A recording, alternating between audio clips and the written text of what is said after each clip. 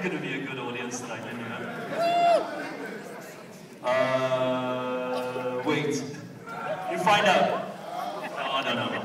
Uh, thank you very much, everyone, for coming here tonight, for coming out and supporting this film on its opening night. Uh, really, really happy to see so many people here today. Um, I hope you like violent films. Uh, yeah!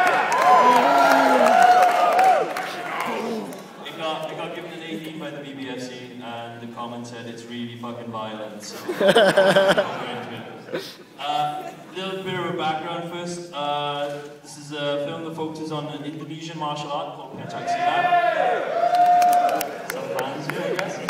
Um, it's, uh, it's a brutal martial art and uh, it doesn't play very friendly and so neither do the actors in the film.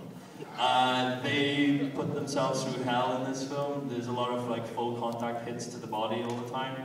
Um, and yeah, it was a it was a big process. My my background is uh, I was based in Wales until I was about 27, and then uh, I ended up going off to Indonesia to do a documentary about Silat. That's the martial art from Indonesia. And while I was there, I was very lucky enough to kind of meet uh, a bunch of really cool guys that did the choreography on our first film, Merantau. Uh, I was inspired by the culture and the tradition there, but I also got to meet Iko Uwais, who's the lead actor in this film tonight. And uh, I just feel like I've been very, very blessed, very lucky to be able to spend the last four years living in Indonesia making these films. So, um, yeah, that's a little bit about me. Um, this film was a bitch to shoot. Uh, I'm gonna uh, sugarcoat it.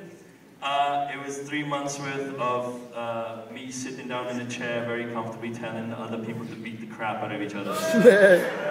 so you're gonna watch 100 minutes of people beating the shit out of each other. so, uh, I've been in plenty of cinemas over my years watching films in UK and I know that we have a tendency to be quite quiet. This is not that type of film. So please feel free to scream, shout and holler and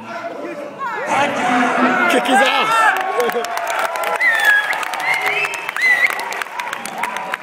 Thank you very much for coming out again. I really hope you enjoyed the film, and if you do, please tell everyone about it, because the guys at Momentum have done a fantastic job getting the word out there so far, but we need you guys to speak as well, so thank you very much for coming out. I hope you enjoy the film. This is The Raid.